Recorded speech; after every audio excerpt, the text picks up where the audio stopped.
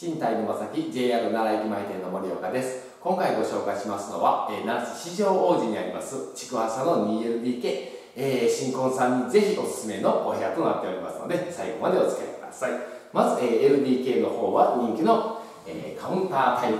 それから広さもおよそまあ14畳ぐらいの LDK はあるかなと思います。で、えー、奥の方には、えー、洋室6畳続き間があります。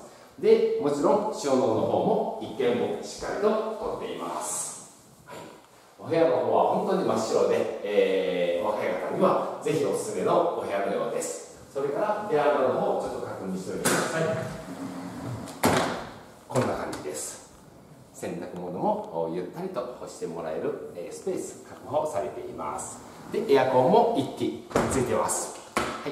キッチンを次見ていきます。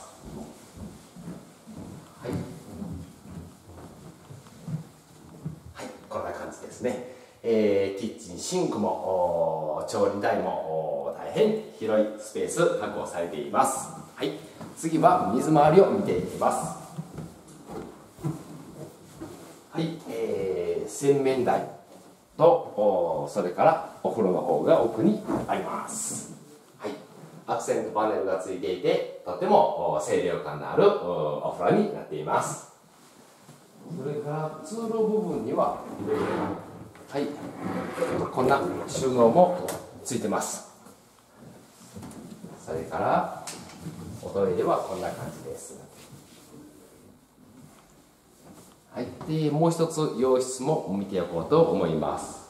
こちらも洋室。エアコンの方もついていますね。はい、まあ、の初期費用を抑えられるお部屋になっていますのでまたえー、大通り24号線も近くにありますしそれからコンビニ、えー、お車で少し行けばスーパーなんかもありますので、えーまあ、奈良市市場時大変住環境のいいエリアだと思います。えー、奈良のおもてなしな心賃貸のまさき JR 奈良駅前店の森岡がお送りいたしました。ありがとうございました。